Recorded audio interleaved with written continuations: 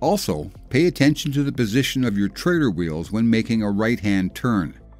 Learning to recognize what an adequate distance from the curb looks like in the convex mirror. That will help you build confidence in your turning skills.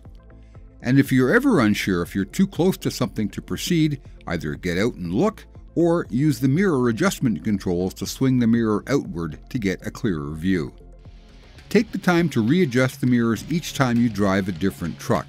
If you keep the field of view consistent, you won't have to guess at what you're looking at in the mirror.